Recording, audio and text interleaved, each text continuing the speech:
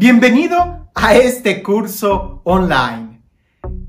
Estoy seguro que tú has estado buscando por él, pero más que eso, te voy a decir que era yo el que quería hablar contigo, que era yo el que quería que me dieras un momento de tu tiempo para poder hablarte de una experiencia que transformó totalmente mi vida. Y no solamente mi vida, sino la vida de miles, de millones y millones de seres humanos sobre este planeta Tierra la experiencia del amor de Dios. No, no, no te vayas ni corras tan rápido. Vamos a empezar con lo más básico, con la predicación de los mismos apóstoles, de aquellos que vieron y tocaron a Jesús, de aquellos que pudieron, tuvieron la oportunidad de escuchar de los labios de Jesús ese mensaje de salvación. Lo que vamos a compartir es el querigma. Pero no te apures, no voy a decir muchas palabras eh, muy eh, difíciles o escondidas, no. La única palabra quizás que, que escuches nueva es querigma. ¿Qué significa la palabra querigma? Proclamación gozosa de la salvación. El primer anuncio. Lo que voy a compartir contigo en este curso es lo primerito que se, que se predica. Lo primero, la base fundamental de toda nuestra fe. Es más, lo que provoca el encuentro con Dios. En Hechos de los Apóstoles vemos algunos mensajes o pequeñas predicaciones en donde está contenida estas verdades fundamentales. Es lo más fundamental de nuestra fe. A partir de esta predicación del querigma que los apóstoles fueron transmitiendo, es donde se construye todo el edificio de nuestra fe. Pero quiero empezar diciendo que en realidad no me interesa mucho hablarte en este momento ni de fe, ni de dogmas, ni de explicaciones, ni de catequesis, ni de teorías, ni de nada de eso. Dejémoslo a un lado y vayámonos por lo más básico, lo más fundamental.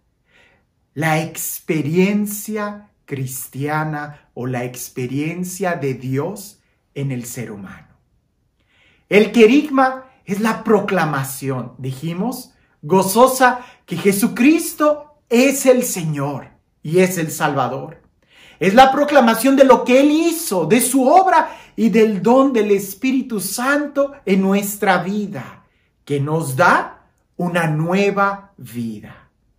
Ahora, usualmente en los primeros años del cristianismo, primero se evangelizaba y después se daban los sacramentos. ¿verdad? Eso era el movimiento. Aquel que no conocía a Jesús Aquel que nunca había oído hablar de él, primero se le predicaba, primero se le anunciaba y después recibía los sacramentos. Pero llegó un momento en donde todos eran cristianos, todos vivían fielmente la verdad evangélica y ya no había los niños que nacían en esas familias, nacían ya convertidos al cristianismo porque lo aprendían de sus papás. Entonces no había razón de por qué posponer los sacramentos. Incluso para los niños que nacen en familias cristianas, no hay realmente un momento de conversión porque ellos nacieron en ese ambiente. Ellos nacieron creyendo en un solo Dios. Entonces, se predicaba, se daban los sacramentos, pero en ese momento, en esa parte de la historia, se daban los sacramentos aún cuando eran pequeños. El día de hoy seguimos conservando eso. Se nos siguen dando los sacramentos cuando somos muy pequeños. ¿Por qué?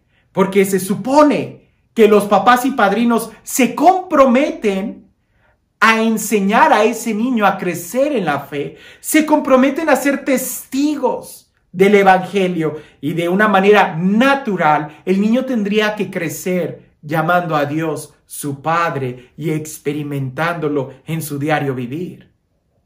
Tristemente nos damos cuenta que eso no es lo que está sucediendo, a tal grado que nos han pedido que vayamos a evangelizar a los bautizados. Es decir, anteriormente se evangelizaba y después se bautizaba.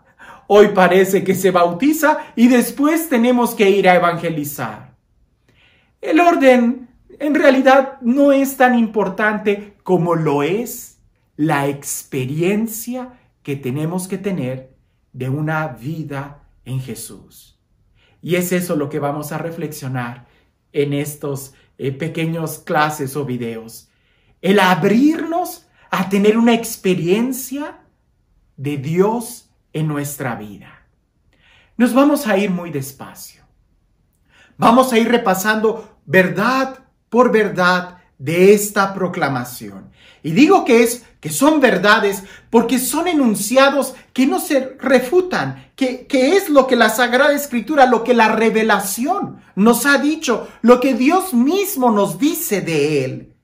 Todo lo que vamos a compartir aquí está 100% bíblico. Por eso te invito a que vayas por tu Biblia y la tengas. Y si tienes también un cuaderno, ve por él, porque vas a tener que ir apuntando algunas notas que después tú vas a reflexionar en tu diario vivir y que tienes que hacer la tarea antes de ver el próximo video, antes de que nos volvamos a reunir en esta clase o en estos ejercicios espirituales. Sin más preámbulo, vamos al primer tema, a la primer verdad fundamental.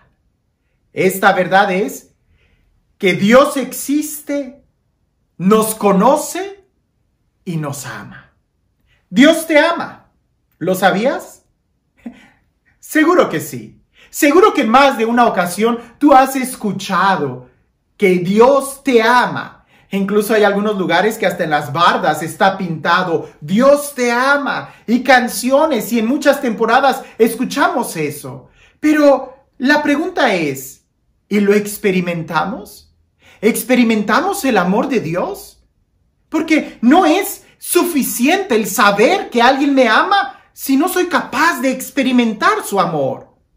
Como la mamá le dice al hijo, no me digas que me amas si te estás portando mal. Lo mismo nosotros pudiéramos decir, ¿y, qué pasa con el amor de Dios? ¿Dónde está el amor de Dios? Si es verdad que Dios me ama, ¿qué, qué, qué es lo que está sucediendo?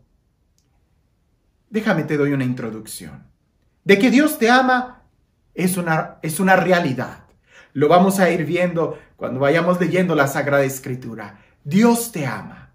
Pero muchas veces nosotros no experimentamos ese amor de Dios en nuestras vidas porque somos nosotros los que estamos bloqueados y no recibimos ese amor. Los bloques, los, eh, eh, pudiéramos decir, los impedimentos que tenemos para que el amor de Dios no entre a nuestro corazón pueden ser en dos líneas muy grandes. Una, los afectivos emocionales y la otra es la comprensión que nosotros tenemos de Dios o de lo que significa ser cristiano. La primera, muchas veces nosotros sencillamente no sabemos lo que es el amor. Se nos ha tratado tan mal toda nuestra vida que es difícil creer, ya no que Dios te ame, sino que cualquier otra persona te ame.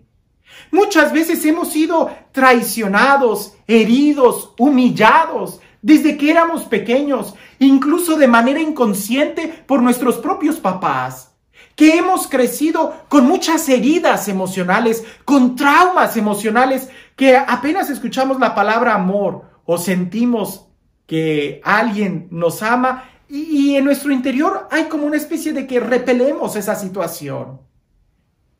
Y muchas veces, mucho más pasa con Dios. Cuando a Él culpamos de todo lo malo que sucede en este mundo.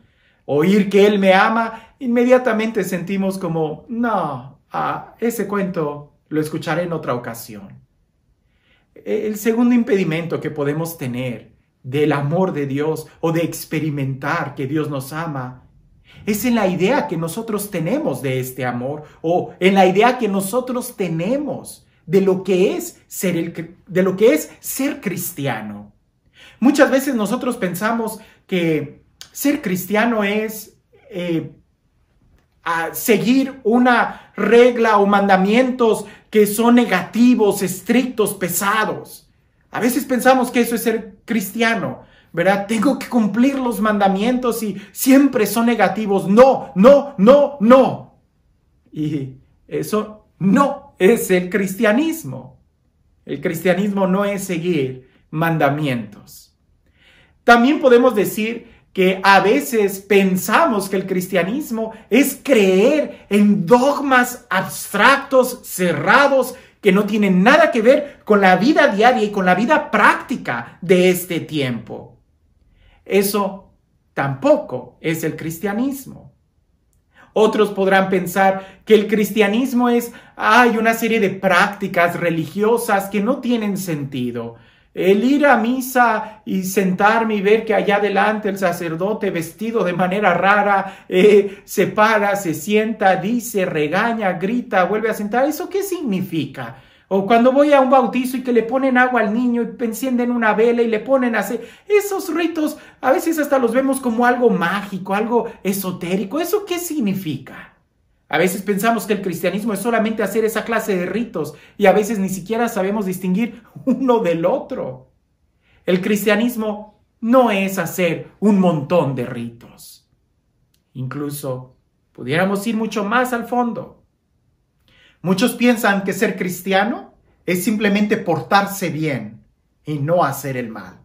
Ah, el cristiano es aquel que se porta muy bien y no le hace daño a nadie. Déjame te digo que eso tampoco es ser cristiano. Entonces tú te estarás preguntando, ¿qué, qué es el cristianismo entonces? Entonces, ¿qué significa decir soy cristiano? Entonces, ¿qué significa ser católico? ¿Por qué? Si ya me dijiste que no son mandamientos, que no son dogmas, que no son prácticas religiosas, que ni siquiera es portarse bien, ¿cuál es la esencia del cristianismo? La esencia del cristianismo es tener una relación viva y personal con Dios. Eso es ser cristiano tener un encuentro vivo y personal con el amor que Dios nos tiene. Si logramos entender esto, todo lo demás va a tener sentido. Eh, eh, los ritos que nosotros vemos en los sacramentos ya no van a ser tan ocultos, los vamos a entender. Los mandamientos ya no van a sonar tan negativos. los dogmas los vamos a entender, vamos a poder comprender aquello que en un principio no entendíamos. Pero lo, básico, lo central del ser cristiano es tener una relación viva y personal con Dios. Y para eso tenemos que tener muy claro esta primera idea. Dios te ama. Y te voy a invitar que en este momento trates de hacer un acto de fe Vas a decir, pero todavía no me dices que, y, ya me estás pidiendo que tenga fe. Quiero que hagas a un lado cualquier experiencia negativa que hayas tenido del amor de Dios, del amor. Trata por un momento de hacer al lado cualquier experiencia, cualquier preocupación que tengas en este momento. Porque esos, esos bloques que nosotros ponemos en nuestro corazón, esas emociones negativas, cada vez que escuchamos que Dios nos ama, van a estar brincando hasta que tú no decidas decirles, quédate quieto, que ahorita voy a escuchar esto. Así que te invito a que ahí donde estés, en un acto de fe, te pongas de pie unos segundos. Ponte de pie. Y vamos a hacer un brevísimo momento de oración. Si te ayuda juntar tus manos o cerrar tus ojos, hazlo en este momento. Y vamos a iniciar esta oración en el nombre del Padre, del Hijo y del Espíritu Santo. Señor Dios, yo creo profundamente que tú estás presente en tu palabra. Palabra que tú inspiraste a los profetas y que tú nos hablas a través de este texto sagrado. Señor, haz que tu palabra sea pronunciada sobre cada uno de nosotros, sobre cada uno de los que está escuchando este mensaje, sobre cada uno de los que va a escuchar tu palabra. Pero Señor, sé tú el que hable. Tú conoces la vida de cada uno de nosotros y tú sabes cuáles son nuestros temores, nuestras angustias. Tú sabes por la situación que estemos pasando, Señor, que tu palabra en este momento sea más fuerte que cualquier preocupación. Que tu palabra resuene en nuestro corazón para que pueda dar fruto y para que nosotros podamos tener esa experiencia de ti. Señor, por favor aprovecha este momento, rompe tu silencio, grita y que podamos escuchar tu voz. Amén. Ahora sí, siéntate, toma tu Biblia, que vamos a arrancar directamente. Vamos a estar leyendo mucho la Sagrada Escritura. Bueno, en realidad no mucho. Van a ser algunos versículos que voy a estar tomando y que vamos a ir leyendo, pero son, son versículos que son muy importantes. Voy a leerlo una, dos o tres veces quizás. Trata de memorizarlo. Porque aunque sea solamente un enunciado, trata de recordarlo en tu mente, aunque sea uno o dos minutos, para que tú seas quien pueda descubrir ¿Cuál es la característica del amor de Dios que está encerrado en ese versículo? La palabra de Dios es como un cubo de hielo, pero tú no puedes beber del agua mientras esté congelada. La tienes primero que, disolver, que, que se derrita el hielo para que puedas tú entonces beberla. Bueno, así va a ser este versículo como un cubo de hielo. Tómalo. No lo puedes beber, pero repásalo, repásalo, repásalo hasta que se disuelva y sacie la sed de tu corazón. El primer versículo que vamos a leer está tomado del libro del profeta Jeremías, capítulo 31, versículo 3. Y dice así. Con amor eterno te he amado por eso he reservado gracia para ti. ¿Cuál es la característica? ¿La descubriste? Está muy fácil. Si yo te pregunto, según este versículo, ¿cuál es la característica del amor de Dios? Volvamos a leerlo. Con amor eterno te he amado por eso he reservado gracia para ti. ¿Crees poder repetirlo tú mismo? Dilo. ¿Qué dice el texto? Con amor eterno te he amado, por eso he reservado gracia para ti. ¿Cómo es el amor de Dios?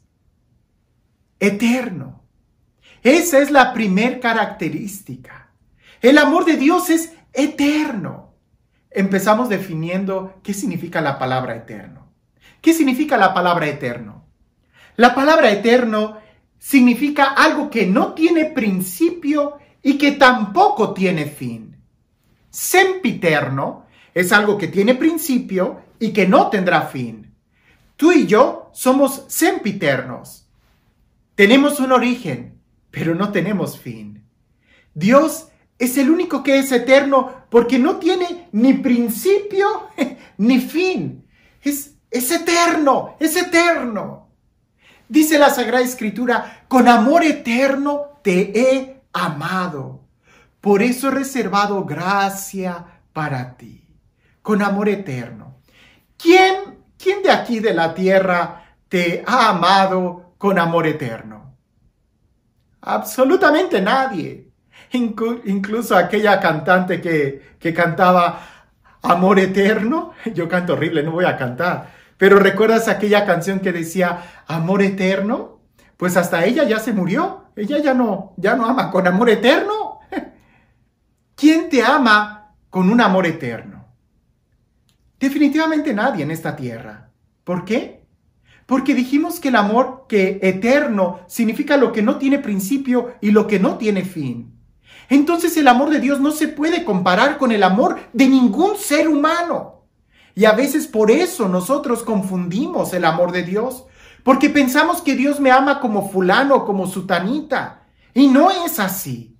El amor de Dios es eterno, no se puede comparar con ningún otro amor. Dios te ha amado desde la eternidad.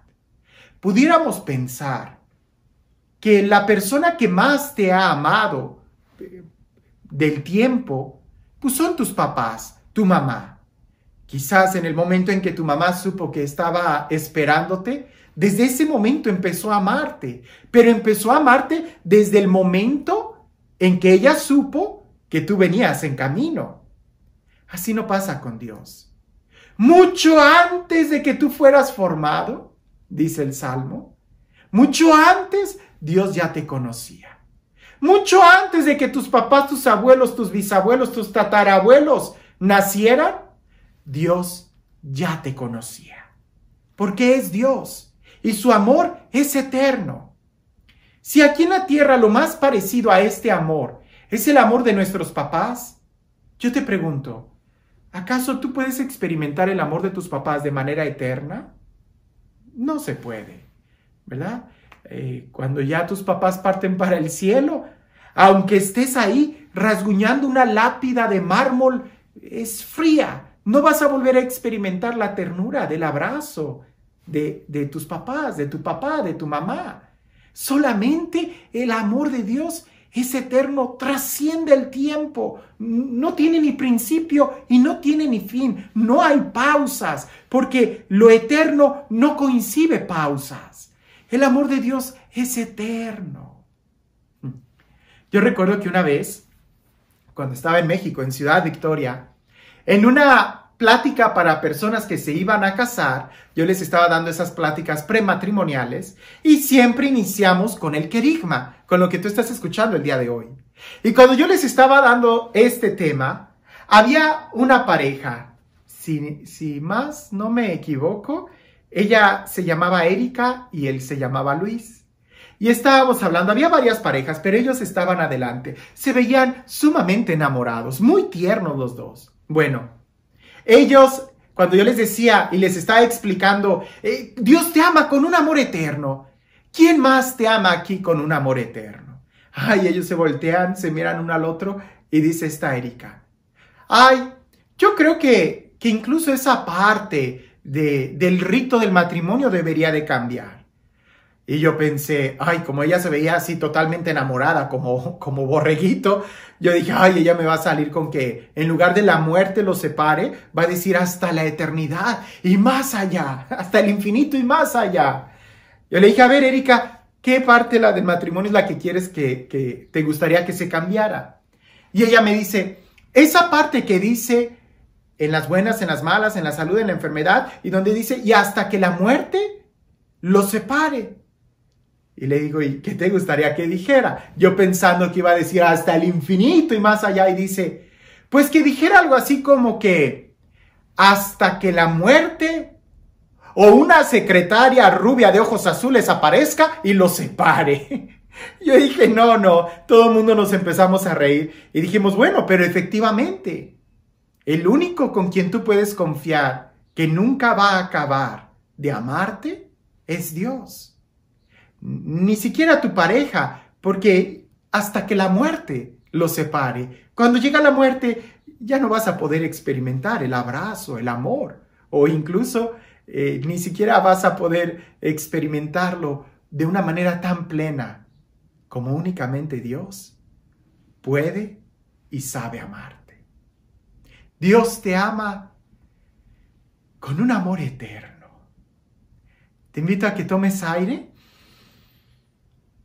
Suéltalo. Este es un momento importante. No pienses en nada más. Eres tú. Vuelve a tomar aire. Y cuando lo sueltes, di, Dios me ama con un amor eterno. Volvemos a tomar aire. Suéltalo diciendo, Dios me ama con un amor eterno.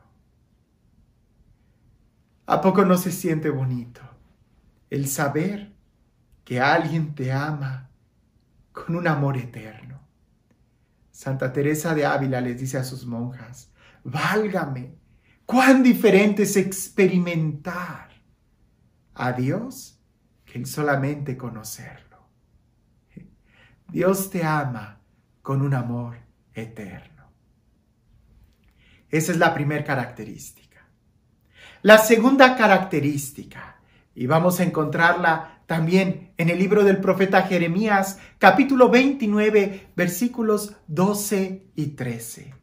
Jeremías, capítulo 29, versículos del 12 y 13. Y dice así, pon atención, porque tú tienes que descubrir cuál es la característica del amor de Dios. Dice así, cuando me llames y vengas a mí, yo te escucharé. Cuando me busques, me encontrarás. ¿La descubriste? No es tan fácil como la primera. Vuelvo a leerlo. Cuando me llames y vengas a mí, yo te escucharé. Cuando me busques, me encontrarás. Cuando me llames y vengas a mí, yo te escucharé. Cuando me busques, me encontrarás. ¿Cómo es el amor de Dios? El amor de Dios es incondicional. No te pone condiciones. Los seres humanos somos quienes ponemos condiciones.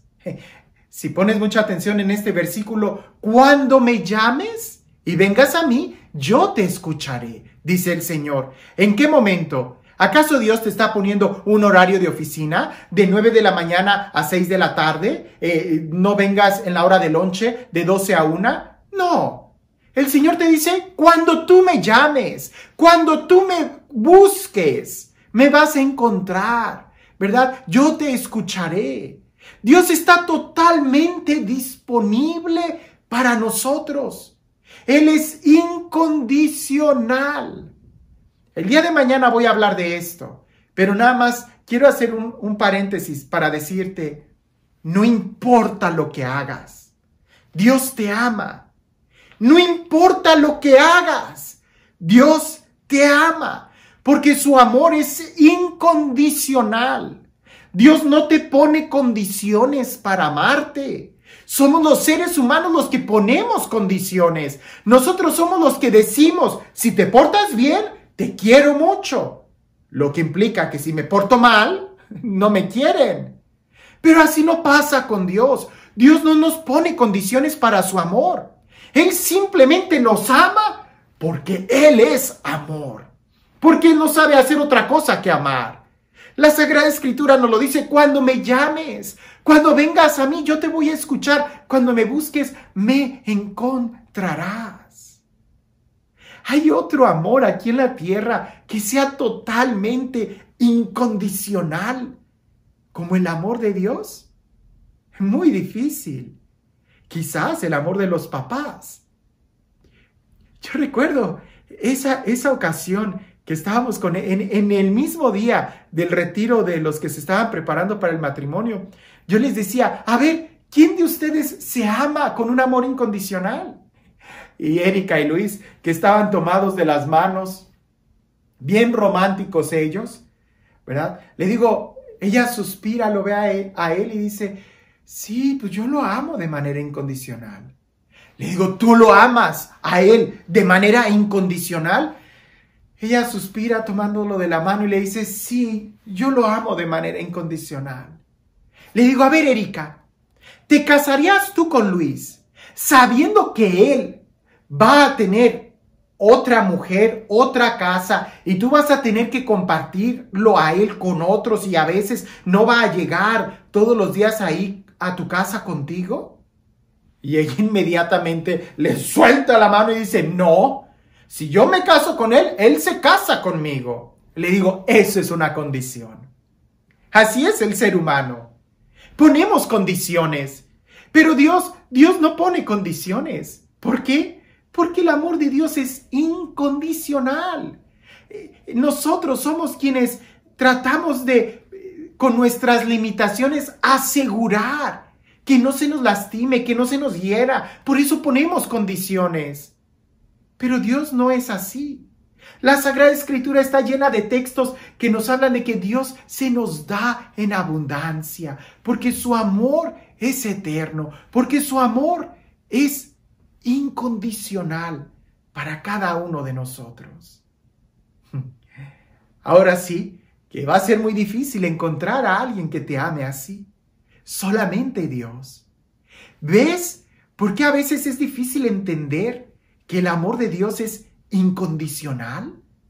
Porque estamos tan acostumbrados a ver condiciones que se nos hace, se nos hace difícil. Pero Dios no es como nosotros. Él es Dios. Y el amor que Él nos tiene no es un amor humano, es un amor divino. Es un amor que sobrepasa cualquier entendimiento. Esta es la segunda característica. El amor de Dios es incondicional. Respira profundo. Ay, suéltalo despacio el aire, suéltalo. Suelta tus hombros, suelta todo. Vuelve a respirar profundo. Y cuando sueltes el aire, di, Dios me ama con un amor incondicional. Vuelve a respirar profundo, cierra tus ojos, respira y suelta el aire diciendo, Dios me ama con un amor incondicional. Así es el amor de Dios. No te pone condiciones. Tú podrás ser el peor pecador, el peor asesino, el peor narcotraficante, podrás ser una prostituta, un drogadicto, lo que sea. Dios te ama. Dios te ama. Porque el amor que Dios te tiene no depende de ti ni de mí. Depende solamente de Él. Y Él no es como nosotros. Él es Dios. Veamos la tercera característica. Hay que poner atención. Hay que tratar de memorizar los textos y de poder descubrir en el texto cuál es la característica del amor de Dios. El siguiente texto está tomado del libro del profeta Isaías, capítulo 43, versículos del 1 al 5. Isaías 43, versículos del 1 al 5. Y dice así, no temas, yo te conozco, yo te he llamado por tu nombre, tú eres precioso a mis ojos, eres estimado, yo te amo, no temas, que yo estoy contigo. Es un texto largo, pero es un texto precioso. Escúchalo nuevamente. No temas, yo te conozco, yo te he llamado por tu nombre, tú eres precioso a mis ojos, eres estimado, yo te amo, no temas, que yo estoy contigo.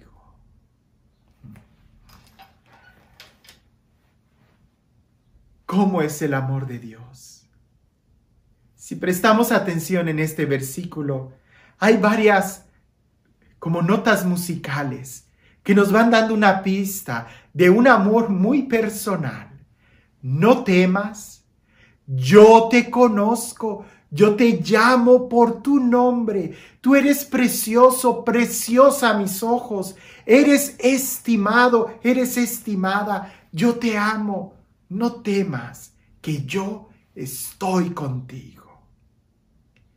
El amor de Dios es muy, muy personal. El amor de Dios es personal.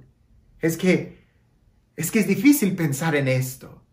Porque a veces pensamos en Dios como un maestro, como un profesor, como un sacerdote, como el presidente de la República, o qué sé yo, como alguien que está a cargo de todo el planeta Tierra y que nos mira a todos como si fuéramos números o ganado, pero no es así. El Dios de la Sagrada Escritura, nuestro Dios, es un Dios personal, un Dios que te conoce, un Dios que se sabe tu nombre, un Dios que te ama. Yo recuerdo que cuando era niño, sobre todo en la época de verano, que nos juntábamos todos los primos en casa de mi abuelita, tenía ella un patio hermoso, muy grande, y que corríamos y hacíamos mil cosas. Y cuando mi abuelita quería llamar a uno de nosotros, eh, no, no, se sabía el nombre. Entre tantos nombres, ella terminaba diciendo todos los nombres. Tú, Beto, Pablo, Carlos, Ernesto, eh, Lalo, eh, tú, César, ¿cómo te llames? Ven para acá. Así no sucede con Dios. Así no sucede con Dios. Dios sí se sabe tu nombre. Dios sí se sabe tu nombre. Él sabe cómo te llamas. Y en el texto que leímos, también sabe cuáles son tus preocupaciones. Por eso dice, no temas. Yo te conozco. Yo te he llamado por tu nombre. El amor de Dios es personal. ¿Qué significa la palabra personal? La palabra personal significa que es entre una y otra persona, no entre tres, no entre cuatro, no entre un grupo, es de uno a uno. Y en el, en el Antiguo Testamento vemos a un Dios que tiene oídos para cada uno de nosotros. No te vaya a pasar a ti como a un compañero mío cuando estaba en filosofía, ah, yo estaba estudiando en Saltillo y en Monterrey, en la Arena Monterrey, un artista, no voy a decir su nombre porque no estoy muy seguro si sí puedo decir nombres, pero un artista eh, fue muy famosa ella, cantaba, estaba de moda, llenó la Arena Monterrey y este compañero tuvo un boleto y fue al concierto de esta cantante. nosotros sabíamos que iba a ir. Pues nada, que va llegando y, estaba sumamente contento, estaba radiante. Y nos dice, ¿qué creen? Me dijo que me amaba. Y nosotros, ¿qué? Y dice, sí, me dijo que me amaba. Y nosotros pensamos, bueno, ¿estás loco? ¿O qué pasó? ¿Fuiste a los camerinos? ¿Pudiste verla con ella? ¿Estuviste un momento con ella? O sea, ¿cómo que te ama? ¿Qué, qué sucedió? Platícanos. Y él dice, no, no, no, no, yo estaba sentado en medio de las gradas. Pero cuando ella estaba terminando, dijo en el micrófono, los amo Monterrey, los amo a todos. Y se fue. Y nosotros soltamos a carcajadas riéndonos. Dijimos, bueno, tú estás iluso que ella ni siquiera sabe que existes, ella no te conoce. Lo que ella amó fueron los gritos que le echaste, los aplausos y sobre todo el dinero que dejaste a la entrada. No, a veces pensamos que así es Dios, que nos ama y sentimos muy bonito cuando estamos todos juntos en misa o en algún retiro, hora santa, pero, pero Dios está solamente para ti. Dios te ama. El amor de Dios es totalmente personal. De tal manera que si nosotros fuéramos los únicos, o si tú fueras el único que necesitara de la Sagrada Escritura, de los sacramentos o del Hijo de Dios Jesús, todo se hubiera hecho igual por ti. Porque Dios te ama a ti de una manera personal. ¿Todavía lo dudas? Piensa en esto. ¿Has visto tu huella digital? ¿Sí la has visto? Nadie tiene una huella digital como la tuya. Nadie. Es única e irrepetible. ¿Has oído hablar del ADN eh, en nuestra sangre? La composición del ADN. Bien. Nadie tiene el mismo ADN que tú. Es único. Eres irrepetible. ¿Has oído hablar de eh, el rostro facial? Que nadie tiene el mismo rostro que tú. Aunque sean gemelos, Actualmente, por ejemplo, con la tecnología que tenemos, los celulares que se desbloquean con el reconocimiento del rostro facial, hasta detecta las diferencias entre los gemelos y los cuates. Para nosotros somos iguales, pero no somos iguales. Son, son diferentes y todavía más. Si hay máquinas que ya leen el iris del ojo y es único e irrepetible. Todavía más. Hay máquinas que logran distinguir la voz. ¿Te has dado cuenta de eso? Nadie tiene la misma voz que otro. Tu voz es única e irrepetible. ¿Todavía quieres más? Nadie tiene el mismo diseño de tus huesos en tamaño, posición. Eh, se ve más claramente con los dientes. Nadie tiene el mismo tamaño y diseño de los dientes, aunque todos quieran usar frenos y arreglárselos. Nadie tiene el mismo diseño de los dientes. Eres único e irrepetible. ¿Crees que esto es producto de la casualidad? ¿Crees que esto es producto de una explosión? No. Dios toma las cosas muy en serio. Y el amor que te tiene es muy, muy personal. Que te creó a ti totalmente único e irrepetible para que te des cuenta que la experiencia que tú puedes tener del amor de Dios no se compara con la de nadie, porque el amor que Dios te tiene solamente es de Él. Es un amor divino, no es como el amor de, de tu esposo, de tu esposa, de tu amigo, no. Es el amor de Dios y Él es muy personal. A veces ni tu esposa o ni tu marido sabe a qué le tienes miedo. Y sin embargo Dios sí lo sabe. Y te dice, no temas. Yo te conozco. Yo te he llamado por tu nombre. Eres precioso. Eres preciosa a mis ojos. No temas que yo estoy contigo. Que yo te amo. Así es el amor de Dios. Muy personal. te invito nuevamente. Respira profundo. Cierra tus ojos y suelta el aire diciendo, Dios me ama con un amor personal. Respira profundo y repite, Dios me ama con un amor personal. Estoy seguro que ya algo está sucediendo en tu corazón, porque tu corazón no puede ser el mismo al saber que hay alguien que lo ama de una manera tan personal. Ahora sí abre tus ojos vamos a ver la siguiente característica. Y nuevamente, trata de poner atención. La pregunta es, ¿cómo me ama Dios? ¿Cuál es la característica del amor de Dios que viene en este versículo de la Biblia? Y ahora vamos a leer el libro del profeta Isaías, capítulo 54, versículo 10. Y dice así, Isaías 54, versículo 10.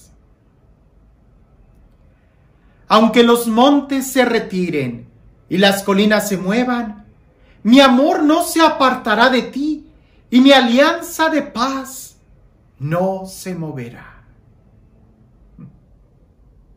Aunque los montes se retiren y las colinas se muevan, mi amor no se apartará de ti y mi alianza de paz no se moverá. Muchos no la adivinan. Y digo adivinan porque dicen un montón de características. Pero el texto, el texto está claro. Aunque los montes se muevan y las colinas se corran, mi amor de tu lado no se apartará. Y mi alianza de paz no se moverá. Suceda lo que suceda. El amor que Dios te tiene, ese nunca se mueve. Suceda lo que suceda, Dios te ama. Él permanece fiel. Él está contigo, porque el amor de Dios no cambia. ¿Cómo es el amor de Dios? El amor de Dios es fiel, fiel. El amor de Dios es fiel porque suceda lo que suceda, Él ahí está contigo, Él ahí está amándote. Así es el amor de Dios, fiel, es para ti, no cambia. ¿No es hermoso? Pero empecemos definiendo un poco qué significa la palabra fidelidad, porque a veces no entendemos qué es ser fiel. Y resulta que es más fácil definir lo que significa infidelidad que fidelidad.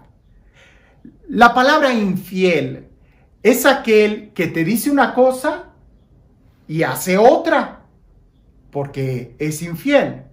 Te dice que te ama, que tú eres la mujer más bella del mundo, que sin ti se moriría. Y luego va y se lo dice también a la otra. Y luego se lo dice a la otra.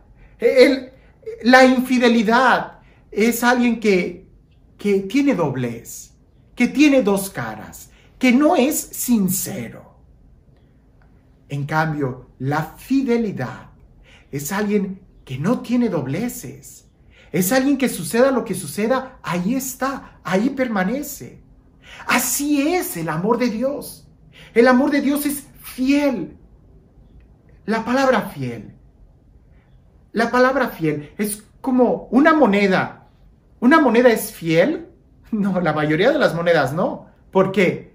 Porque un día la arrojas y cae cara, otro día cae sello, otro día cae cara, o bueno, águila y sello. O sea, cae diferente. Las personas a veces así somos. Un día decimos una cosa, otro día decimos otra cosa, después cambiamos. Dios no. Dios es fiel. Una moneda fiel es la que en las dos caras es lo mismo. Cara y cara, o sello y sello, es lo mismo. Siempre la arrojas y siempre será lo mismo. Esa es una moneda fiel. Cuando no hay engaño, cuando no hay doblez, cuando es 100% genuina. En, la, en algunos de los productos que vamos al supermercado, también podemos hablar de fidelidad. Por ejemplo, hay un aceite que se llama aceite fiel o aceite extra virgen.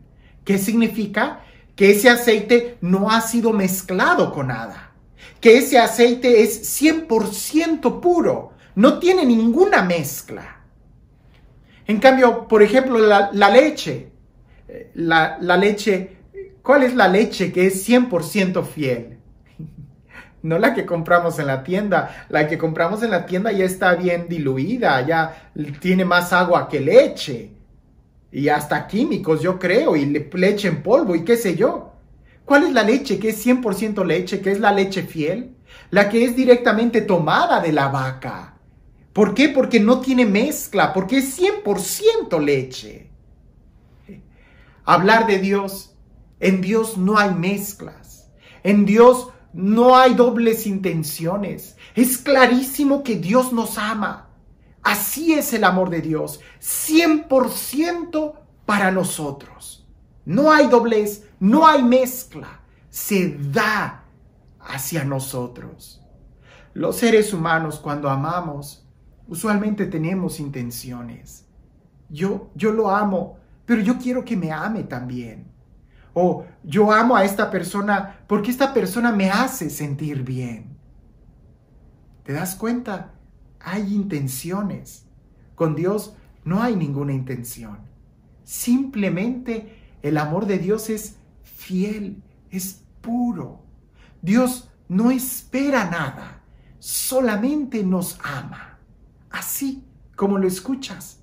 No hay otra cosa en Dios que solamente amor. Por eso el apóstol San Juan define a Dios como Dios es amor. Porque no hay otra forma de cómo, de cómo definir a Dios en su pureza, en su esencia. Dios es amor. Dios te ama. El mundo podrá derrumbarse, dice Jesús. El cielo y la tierra pasarán, pero mi palabra siempre permanece. El día de hoy estamos leyendo en este texto que los montes se podrán mover, las colinas se podrán correr, Pero el amor de Dios, ese no cambia, ese permanece fiel. Él está siempre con nosotros. ¿O acaso un día, cuando tu hijo se levanta y sale todo dormido y te mira y dice, oye mamá, ¿qué es lo que amaneció allá afuera en la ventana? Y tú te asomas y dices, ah, ese es el cerro de la silla. Ah, ayer no estaba, no, hoy amaneció aquí. ¿Eso sucede? No, las montañas no se mueven, las colinas no se mueven. ¿Y el que está ahí al ladito qué es? Ah, ese es el Everest. El monte Everest amaneció ayer. No, tampoco. Suena ridículo, pero dice, dice, dice Dios en su palabra. Aunque los montes se movieran. Pareciese que fuera posible que una montaña se moviera. Pareciese que fuera posible mover el cerro del Tepeyac, mover el Himalaya o qué sé yo. No, es que es imposible. Pues Dios dice, aunque se muevan, mi amor de tu lado no se apartará. Caerán mil a tu derecha, diez mil, se moverán mares y ríos, habrá tempestades, pero el amor de Dios de tu lado jamás se moverá. El amor de Dios es fiel. Vuelve a tomar aire, respira profundo. Y suéltalo diciendo, Dios me ama con un amor fiel. Vuelve a tomar aire y dilo, dilo en voz alta, suelta el aire diciendo, Dios me ama con un amor fiel. Dios te ama con un amor fiel. ¿Cuántas características llevamos? ¿No se te han olvidado? La primera, amor eterno. Dios te ama con amor eterno. La segunda, Dios te ama con amor incondicional. La tercera, Dios te ama con un amor personal. La cuarta, Dios te ama con un amor fiel. Y la quinta, Dios te ama con un amor. Y todavía no la vemos. Pero presta atención, porque esta característica parece que hubo una época que se puso de moda, que se empezó a diluir el significado tan fuerte de esta característica del amor de Dios está tomada, o la podemos descubrir también en el libro de Isaías, capítulo 49, versículo 15. Escúchalo. Dice así. ¿Acaso olvida una mujer a su niño de pecho sin compadecerse del hijo de sus entrañas? Pues aunque ellas lleguen a olvidar, yo no te olvido ¿Acaso olvida una mujer a su niño de pecho sin compadecerse del hijo de sus entrañas? Pues aunque ellas lleguen a olvidar, yo no te olvido. ¿Cuál es la característica? Algunos dicen compasión, que es padecer con. Pero es más que eso, la característica es misericordioso. El amor de Dios es misericordioso. ¿Y qué significa esto?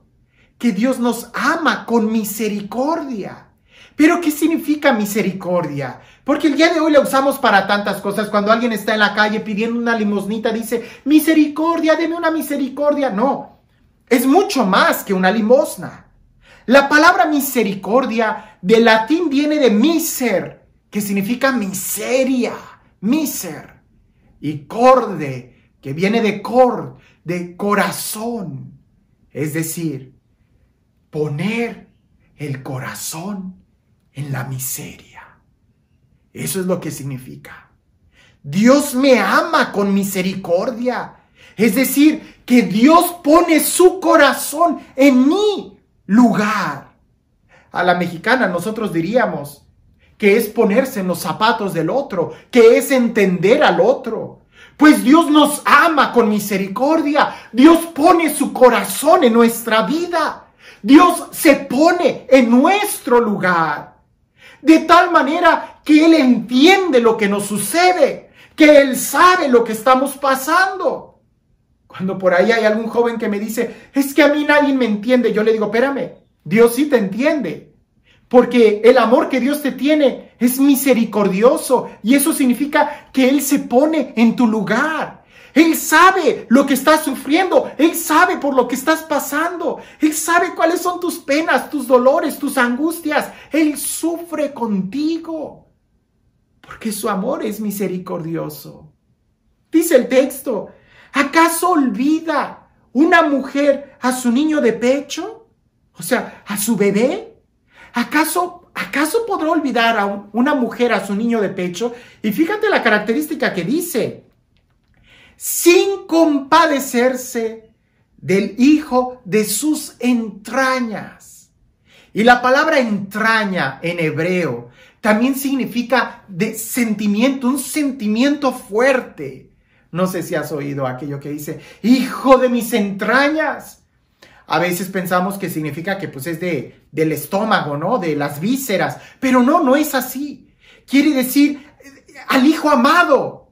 Eso es lo que significa, al hijo en quien tengo mi emoción, mi esperanza. Dios nos dice, ¿acaso olvidará una mujer a su niño de pecho sin compadecerse del hijo de sus entrañas? No pueden, no pueden. Dios dice, pues aunque ellas lleguen a olvidar, yo no te olvido. Cuando yo estaba en la universidad, en la universidad civil, mucho antes de entrar al seminario, yo ya sabía, yo tenía muy claro que yo quería ser sacerdote, ¿no? Y mis compañeros sabían que yo quería ser sacerdote. Incluso por ahí me ofrecieron algunos profesores dos propuestas de trabajo muy buenas y yo las negué y un profesor medio se molestó y en alguna clase eh, eh, me echó una indirecta diciendo que, deberíamos de pensar en nuestro futuro y no andar negando oportunidades de trabajo. Y, mis compañeros dijeron, ¿por qué negaste esa oportunidad de trabajo? Y yo les dije, es que yo quiero ser sacerdote, ¿verdad? Y todo el mundo se sorprendía. Bueno, a lo que voy es a lo siguiente, esa es otra historia, pero a lo que te quiero contar es que yo tenía una compañera en la universidad, en la universidad civil, esta compañera se había embarazado y tuvo un aborto. Cuando ella supo que estaba embarazada, ella no quería tener el niño. Ella ni siquiera, ella no sabía nada de la iglesia, ella no sabía nada de Dios, ella, ella simplemente decía que no estaba preparada y se le hizo fácil ir a lo que llamaban interrupción del embarazo, ¿no? Como si después pudieras continuarlo. Ella tuvo el aborto. El caso es de que cuando ella sabe que yo quiero ser sacerdote y que soy, estoy bien metido adentro de la iglesia, ella se acerca y me dice, oye Berardo, quiero hablar contigo. Y le digo, sí. Dice, no, pero vamos y nos salimos a caminar, ahí mismo en el campus de la universidad. Y dice, te voy a contar algo porque yo creo que tú puedes ayudar a muchas mujeres. Ella me dijo, yo no sabía nada, nada de Dios, nada de la iglesia, absolutamente nada. ¿verdad? Yo cometí un error, me embaracé de un muchacho que ni siquiera amaba y cuando me doy cuenta que estoy esperando un hijo, yo tampoco quería ese niño, ¿verdad? Para nada, mis papás me iban a regañar, yo ya, ya había perdido yo muchos años de estudios en la universidad y ahorita lo único que yo tenía que hacer era terminar la carrera, porque ya me estaba haciendo vieja, ella decía, y necesitaba terminar la carrera. Y fui y aborté. Yo no sabía que era pecado, yo no sabía nada. Cuando ya me recupero de todo ese trauma y el sangrado, etcétera, etcétera, a partir de ahí empecé a caer en una tristeza, en una depresión, en, en eh, eh, como si fuera una depresión posparto. Eh, todo se empezó a apagar.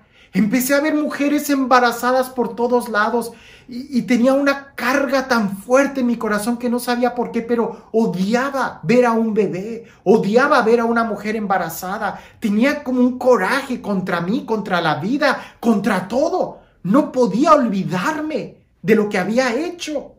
Y yo no quería a ese niño y mucho menos amaba al papá de ese niño. Pero no podía olvidar ese momento. No podía olvidar que yo pude haber sido mamá. Y en medio de todo ese coraje, me solté a lágrimas platicándole a una amiga y ella me dijo que eso era pecado. Y fui, me confesé con el sacerdote, sentí mucha paz. Pero es algo que se tiene que hablar. Nunca olvidas a un hijo, aunque no lo hayas tenido. Cuando yo escuchaba esas palabras, pude ver muchas emociones en ella. Coraje, esperanza, el reto, ¿verdad? Que quería que se dijera, que no se abortara, porque nunca se olvida a un hijo, aunque no haya nacido. Esas fueron sus palabras. ¿Acaso una mujer olvida a su hijo sin compadecerse del hijo de sus entrañas? Dice la Sagrada Escritura, aunque ellas llegasen a olvidar Pareciese que, pareciese que esto es más difícil que una montaña se mueva. Pero dice la Sagrada Escritura, aunque ellas llegasen a olvidar, yo no te olvido, dice Dios. Yo no te olvido. Dios te tiene tatuado en la palma de su mano, nos dice también el profeta. Hay, muchos textos, muchos textos en la Sagrada Escritura que nos recuerdan el amor que Dios nos tiene. ¿Una mujer podrá olvidar a su hijo? No lo sé. Pero Dios, Dios no te olvida. Dios te está buscando.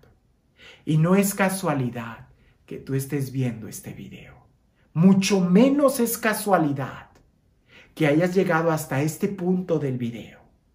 Porque Dios te está gritando el día de hoy que te ama, con un amor eterno, con un amor fiel, con un amor misericordioso, con un amor personal, con un amor incondicional. ¿Es que no entiendes? Mucho antes de que tú nacieras, Dios ya te amaba. Mucho antes de que tú hicieras una burrada, Dios ya te amaba. Has pecado, has cometido las peores maldades y asostridades que se pudieran imaginar. Dios te ama. Porque el amor que Dios te tiene no depende de ti, depende de Él. Y Él es amor. Y te ama tanto que dice el texto que aún tiene misericordia abundante sobre ti. Es decir, Él sufre contigo. Él padece contigo. Él camina contigo. Nosotros pudiéramos preguntarnos el día de hoy, y entonces, ¿Para qué Dios me creó? Te creó para esto, para que seas feliz. Te creó para que experimentaras la plenitud.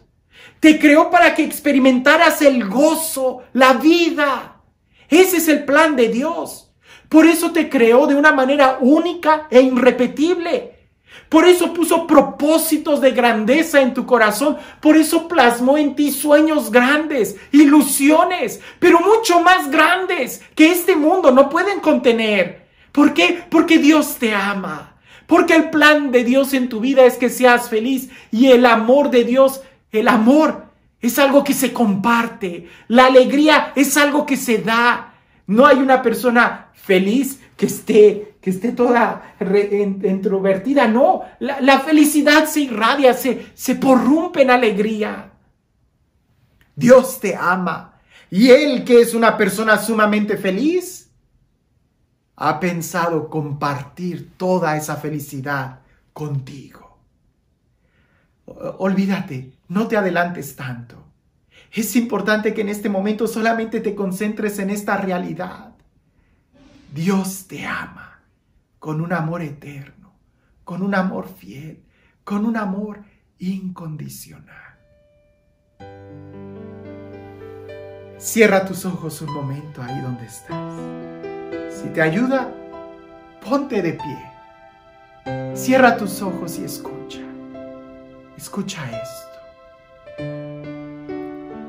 Dios, el creador del cielo y de la tierra, el eterno, a quien llamamos el Padre, Dios, que desde antes, mucho antes de la creación del mundo, Él ya te amaba. Él ya había tenido destinada gracia, alegría para ti en tu vida el día de hoy y para siempre. Este Dios que te ama te dice, no temas, yo te conozco, yo te he llamado por tu nombre, eres precioso, eres preciosa a mis ojos, eres estimado, eres estimada, no temas, que yo te amo, yo estoy contigo. Respira profundo, abrázate si quieres. Y siente en este momento nuevamente estas palabras en tu corazón. Dios te ama. Dios te ama. Él te está buscando día y noche. Él te está buscando como un enamorado.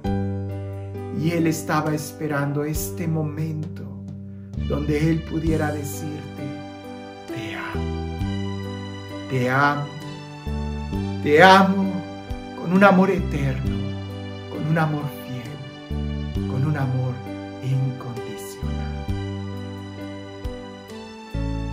Gracias Señor por tu amor. Gracias por tu fidelidad. Gracias porque tú estás siempre conmigo.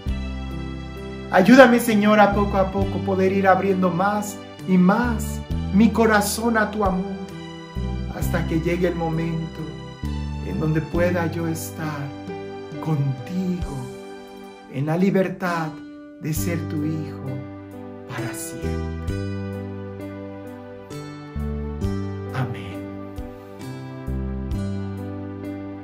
Ahora entiendes por qué San Pablo dice, ¿quién nos podrá separar del amor que Dios nos tiene? ¿La muerte? la enfermedad, la tristeza, la angustia, nada de eso nos puede separar del amor que Dios nos tiene.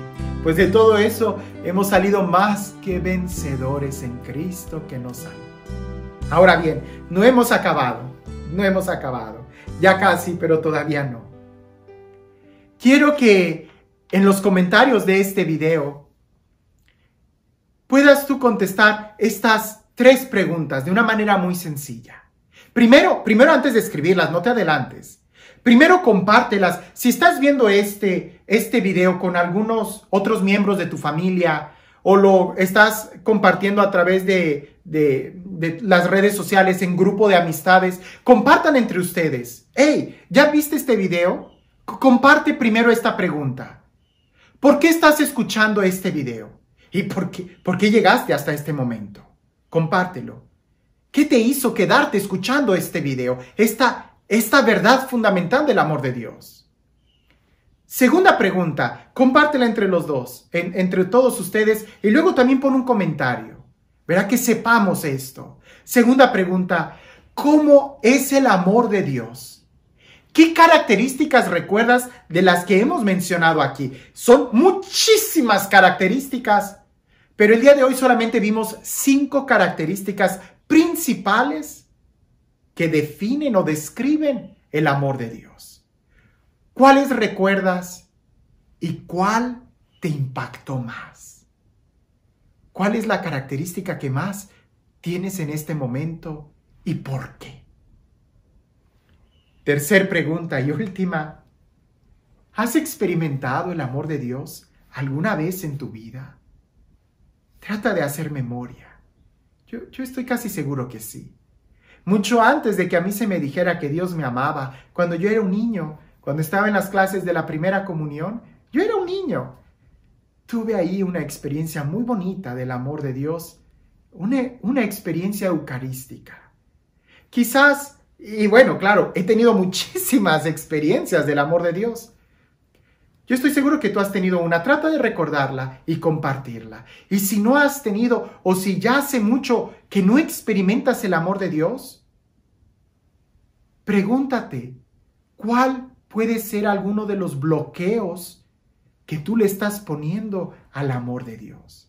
Dios es un caballero, Él te respeta. Si tú no quieres, Él no te obliga, pero Él quiere amarte.